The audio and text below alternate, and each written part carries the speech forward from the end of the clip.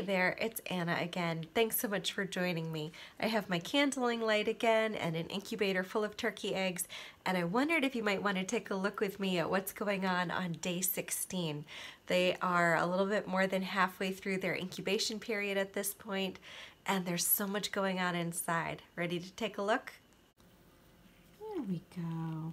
You can tell that the egg is really starting to look a lot more full inside than it did a week ago.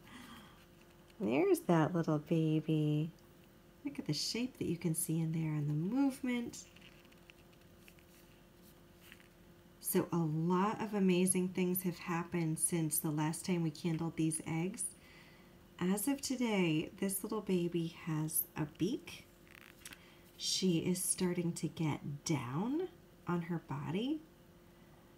She has eyes. She's had a beating heart for ages at this point. She has toes. She even has claws on those toes. Can you believe it? That's absolutely incredible. Tomorrow she's going to start getting down on her head.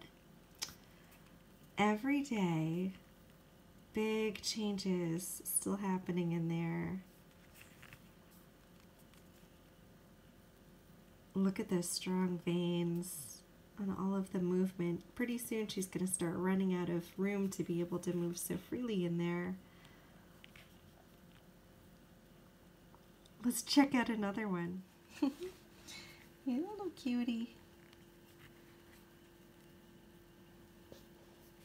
So just to remind ourselves, turkey eggs take just about 28 days to hatch, just like a duck egg which means that they're just a little bit more than halfway halfway cooked at this point.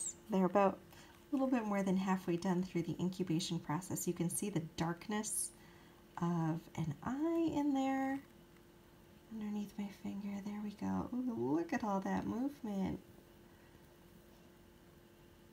And you can see how strong the veins are in the membrane that surrounds the whole inside of the egg.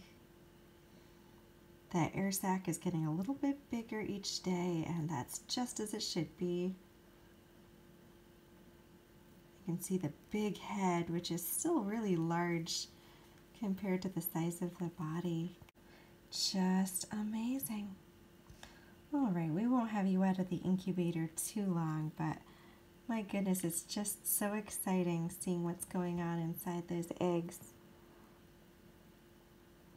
We'll candle one more time at 24 days, just as we're getting ready to put these eggs on lockdown.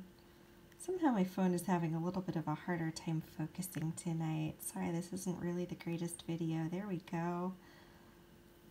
But, um, oh, what a fun process.